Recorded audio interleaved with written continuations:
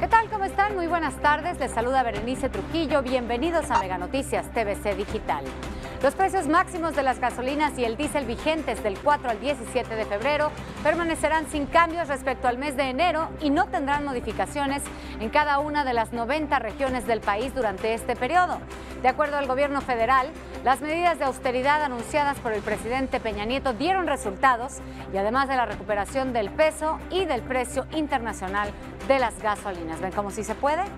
Y lamentablemente Lorenzo Servitje, fundador de Grupo Bimbo, falleció esta madrugada a los 98 años de edad. En 1945 fundó esta empresa 100% mexicana, de la que fue presidente del Consejo de Administración hasta 1994, año en que se retiró.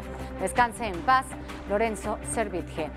En otros asuntos, Arturo Bermúdez Zurita, secretario de Seguridad Pública durante el sexenio de Javier Duarte en Veracruz, fue detenido esta mañana cuando acudía a declarar a una audiencia en la capital del estado.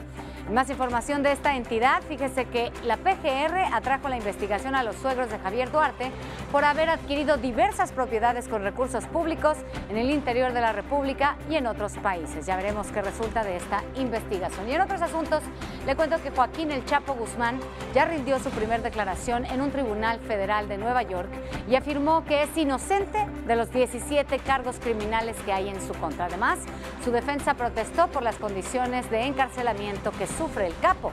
Acusan que está encerrado 23 horas, que solo lo dejan hacer ejercicio una hora al día, que no lo dejan ni tomar agua y pidieron que lo puedan visitar su esposa y su abogado. ¿Cómo la ve, pobrecito? ¿No? Estará sufriendo mucho este capo.